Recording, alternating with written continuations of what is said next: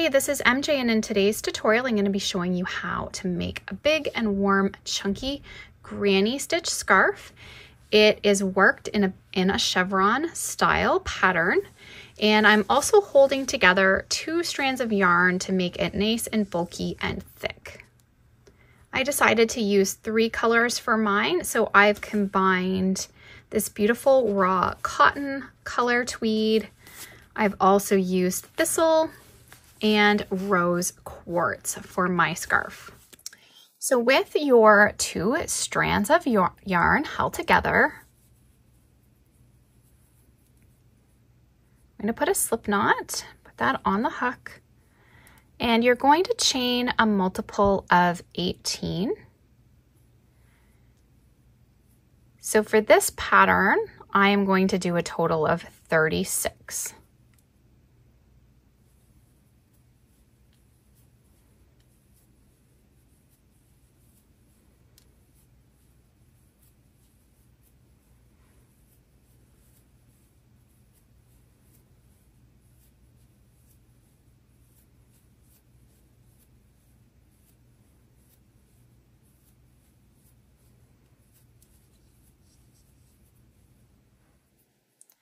Now in the fifth chain from the hook, so one, two, three, four, five, I'm going to work three double crochets.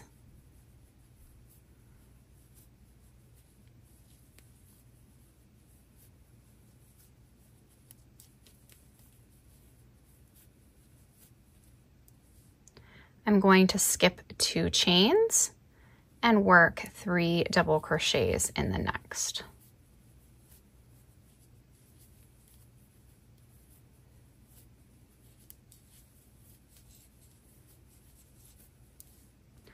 I'm going to skip two chains, one, two, and in the next chain, I'm going to work three double crochets.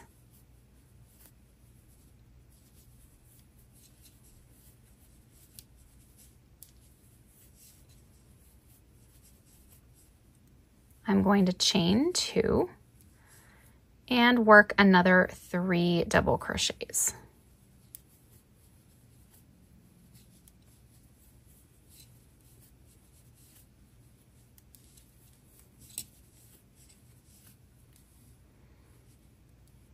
Now I'm going to skip two chains and work three double crochets.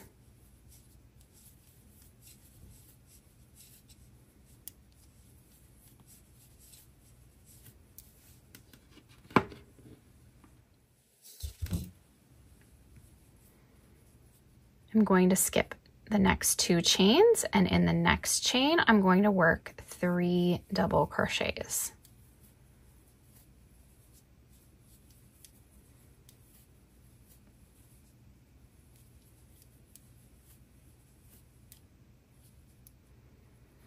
Now I'm going to skip five chains. So one, two, three, four, five.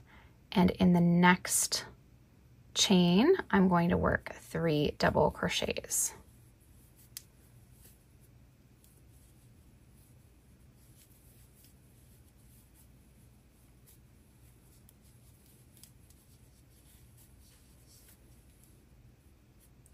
Going to skip the next two chains, one, two, and in the next chain, I'm going to work three double crochets.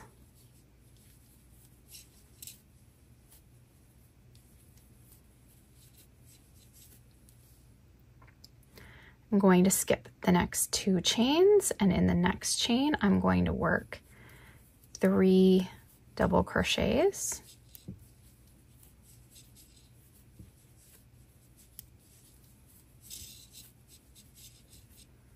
I'm going to chain two.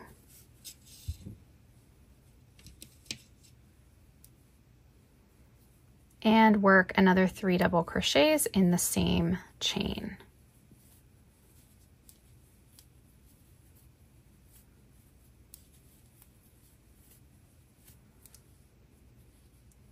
I'm going to skip two chains and in the next chain I'm going to work three double crochets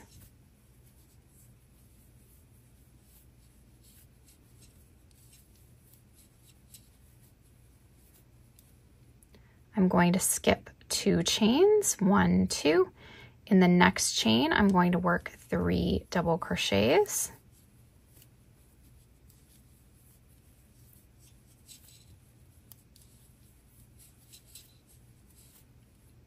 And in the last chain, I'm going to work a double crochet.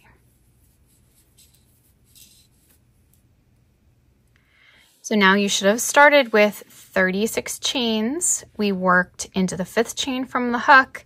And if you followed correctly, you should be ending correctly.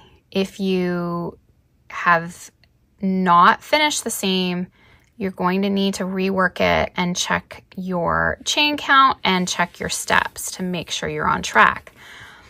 So as you can see, we're getting a chevron look. So we're going to have one, two, three clusters, and then we have our peak right here with our chain two. You're going to have three clusters working down, one, two, three. This is our valley right here where we skipped the five chains. We should have three clusters working back up to the next peak with the chain two, and then one, two, three as well. So that's how the starting row should look. So now we'll chain four, turn our work, and we'll be working a cluster. So a cluster is three double crochets. We'll be working that into the space between the clusters. So one, two, three. We'll do the same thing between the next clusters. So work another cluster.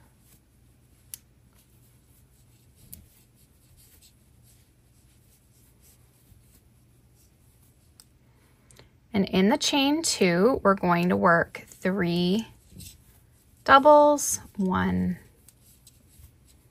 two, three, chain two, and three doubles. So always at your peak, you're going to have your three doubles, chain two, three doubles. And so that you're not increasing, and so that we're always keeping the three clusters to the peak, make sure to count that you haven't ended up with more than you should. So one, two, three, then we have the chain two. It's going to go the same way when we're coming down as well. We always want the three clusters. So we'll work three double crochets between the clusters.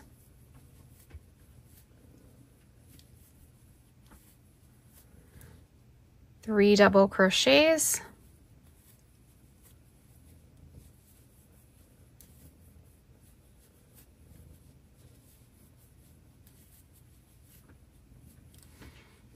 And now you can see we're coming to the valley. So we are skipping over the space between these clusters and going to the next. So this is going to give us that valley that we want. So this is where you could get off track. You want to make sure we've got one, two, three, then we're skipping and then working back up. So one, two, three. So between the next two clusters, we'll have three doubles.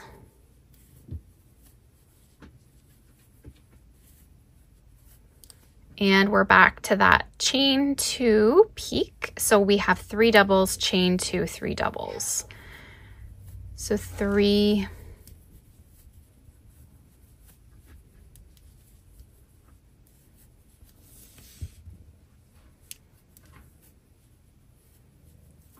chain two,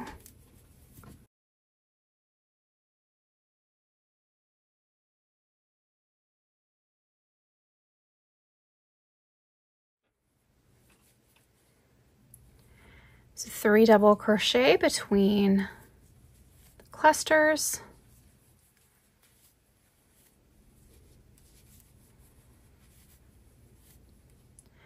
Three double crochet between the next two clusters.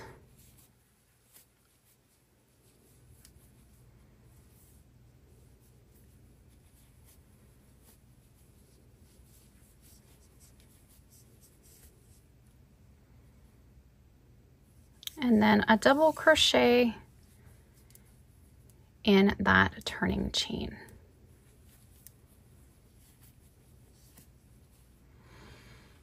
And you are just going to repeat row two now for the pattern. Okay, so chaining four again, and it's just repeating, going back and forth. So really simple, repetitive pattern. But what I have done with the scarf that I've made is done some color blocking. So this is optional. You don't have to do the color blocking. You can do it all in one color.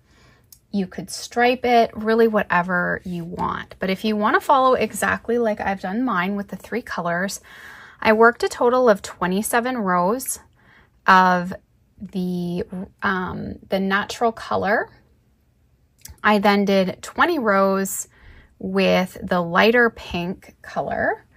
And then my darker pink, I did 27 to match up with this. Now, you could do more of the other pink, but I didn't want the scarf too, too long. So I only went with 20 in the center.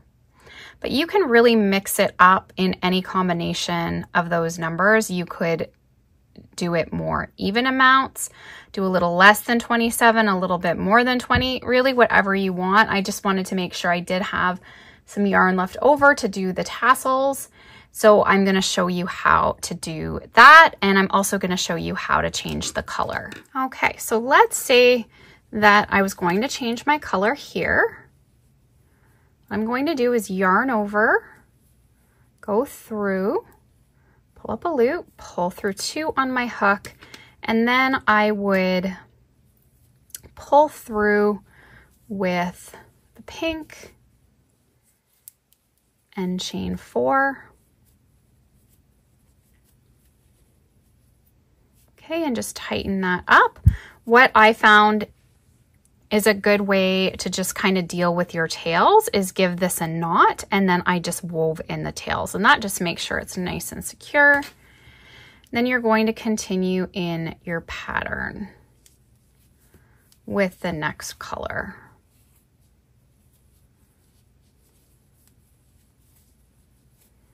This scarf will work up really quickly because of the double crochets and the chunky yarn, it really will go quickly. Okay, so this is how it's going to look when you're finishing. So you're only going to have two peaks on this end. And I measured the scarf from my peak to my valley, and it's about 88 inches long. So let's pull this back up. So to your valley here. So this end, you're going to have three peaks. So I would put three tassels on this end and only two tassels on the other end. Okay, so I'm working out my tassels. I'm doing them all in pink, but you could do them whatever color. You could do a variety of colors. So what I've done here is sectioned off 40 strands at 14 inches long. So I've just put them into a pile and then I've cut two additional pieces for tying.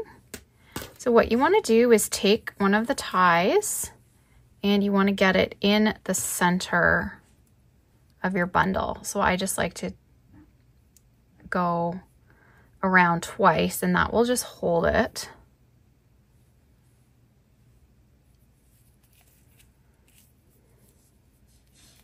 Then give that a knot. You'll use this now to tie to the scarf. And the second piece of yarn, you're just going to make your tassel ball with it.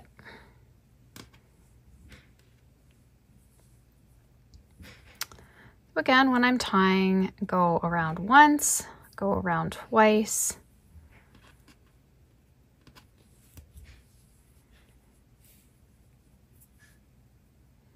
give that a knot. And then I just am taking one of the tails, you can wrap it just around a couple times. Gonna, I'm gonna take my yarn needle and I'm just gonna weave that tail down.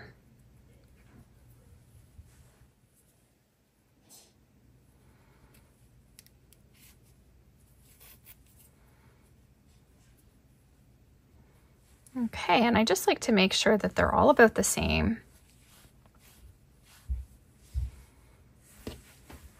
And I didn't even cut my loops at the bottom because when I trim this, I'm just gonna cut all of them. So this is just to save time. And I just like to make sure that I've cut them all about the same length.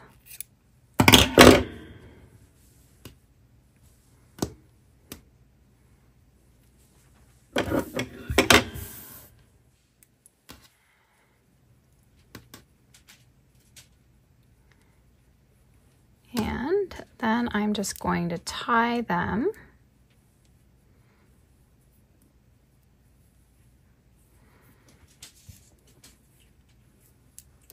And to get rid of these tails, you can just take them and weave it down through. Okay, and then just give that a trim.